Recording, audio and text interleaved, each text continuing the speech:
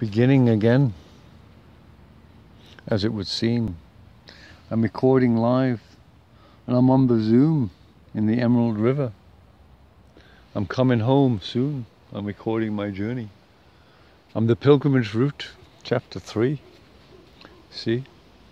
I'm taking the journey foot by foot, lickety split. I'm walking into Avalon the mystery engulfs me.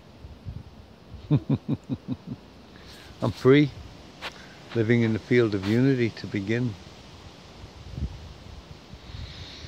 Just to begin our story in Avalon, where all stories converge and originate from, from Joseph of Arimathea, a long time ago. Let us show, let us glow, let us herald the field to the new yield, a new story, a new glory. Let us play as Merlin would